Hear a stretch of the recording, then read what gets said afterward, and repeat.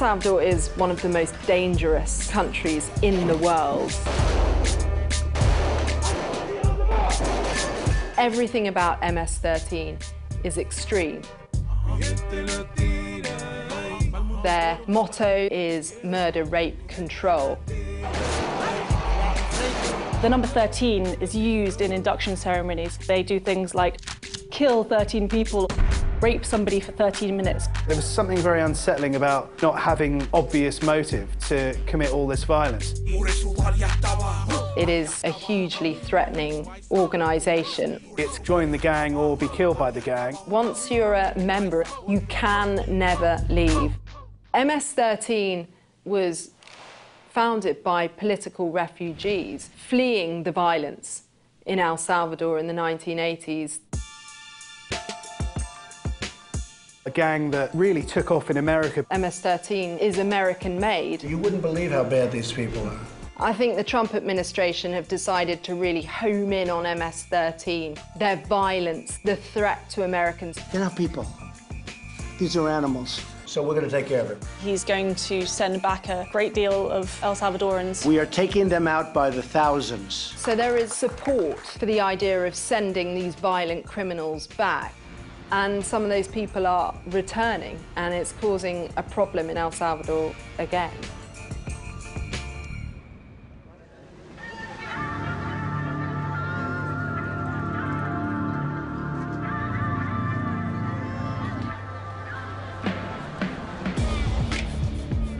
Getting on a plane to one of the most dangerous countries in the world is a bit daunting.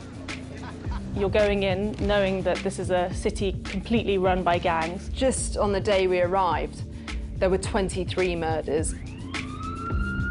In the first few months of this year, there were nearly 500 people killed at the hands of MS-13. We went to a market and we thought this would be a good place to kind of get everyday life. And on the surface of it, it felt like normal people going about their business. But then an armed police car rolls by with people in the back with pointed guns and suddenly it reminds you that you're in a tense area. There were police everywhere and by six o'clock in the evening, it was stunningly quiet. It's almost like someone switched off the lights and what was a kind of bustling and busy area just turned desolate within minutes.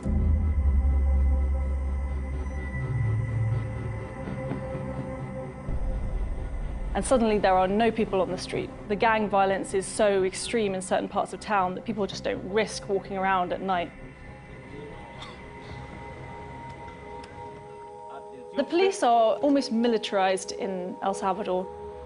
They have this extensive program in the evening where they go out, they patrol the streets, looking for evidence of gang activity.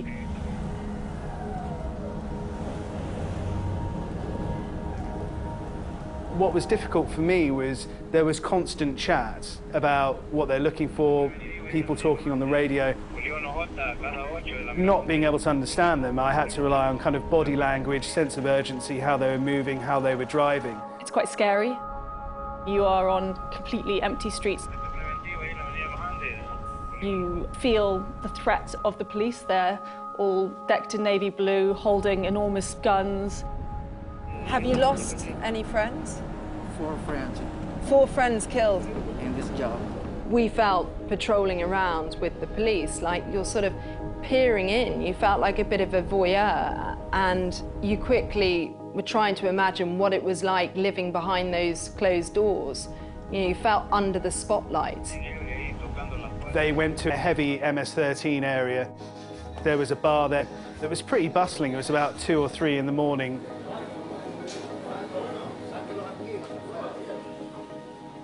Everyone was lined up against the fence, men and women, and they were quite intimately frisked. And their reaction to that wasn't kind of shouting and screaming and saying, I, I can't believe you're doing this. It was just quite fatalistic, really. They just said, OK, the cops are here, out we go, arms on your head. They didn't even really need to be instructed on what to do. So it felt like quite a, a kind of regular event, really.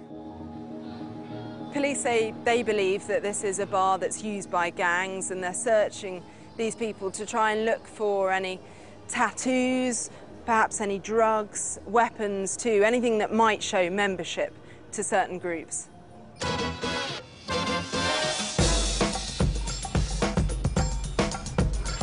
A big part of me actually thought, we'll never get into a prison. And if we did get into the prison, I also thought, OK, well, we'll be showing the model inmates, but we won't actually be shown the proper gang members, the guys who are essentially running the prison and running their gangs from inside the prison. We stumbled across another block that we walked into. We didn't realise, but that wasn't a place we were meant to be.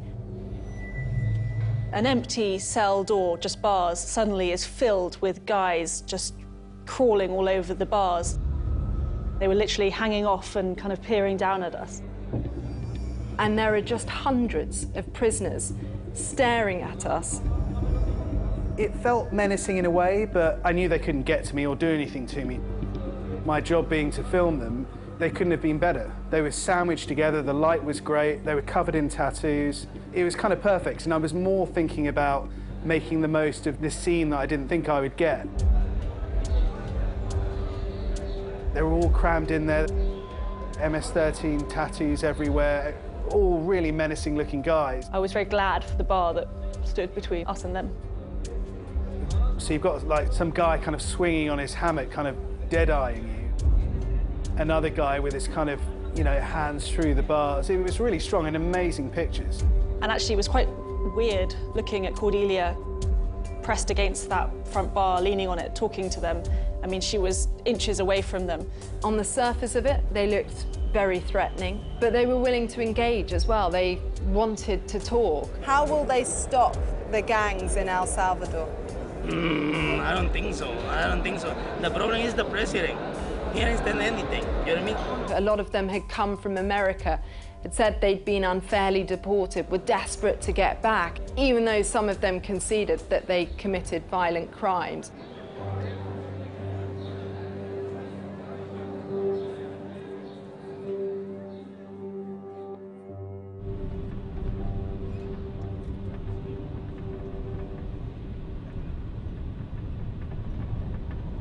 We got wind of um, this young guy who'd been killed out in the um, what you could call the suburbs of San Salvador, the capital.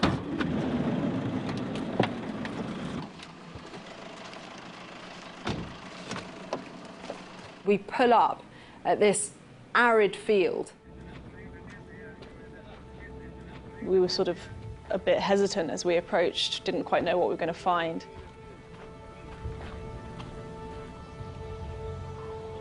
In plain sight, an 18-year-old boy shot dead.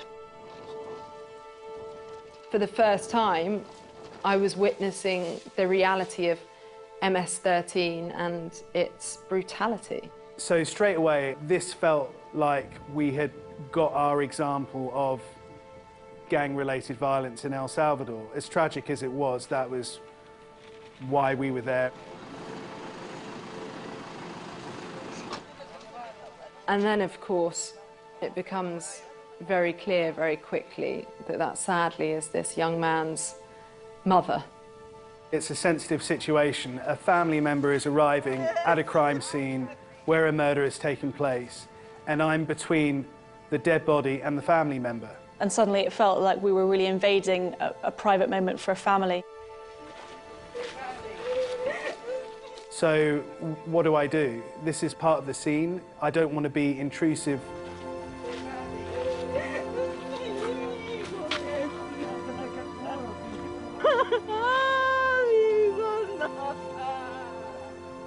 It's really tough, and, and I, did, I did film her, and she saw me, and I saw her. I didn't rush up to her, but I didn't back away either.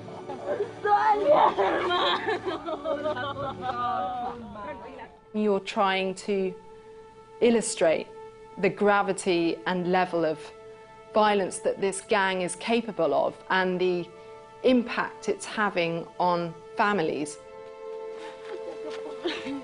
I'm very much wrapped up in the moment of what's going on. As soon as my camera's to my eye, then I'm in that world of documenting what's in front of me. The body was kind of put into a cellophane bag and literally hurled onto the back of a pickup truck. The clunk as it hit the back was pretty upsetting. And then the mother beckons over the, the policeman and, and he takes off these worn down trainers and he hands them to her and she sort of takes them, looking at them like they're all she has left. It was just a kind of really shocking reminder of the sort of cheapness of life. The tragedy of El Salvador, if you like, is that you've got this small number of people that have committed crimes that are returning to the country, but you've also got a lot of people who are being forced back because they didn't carry out the right paperwork. They are returning to a country that is far more threatening than the one they left.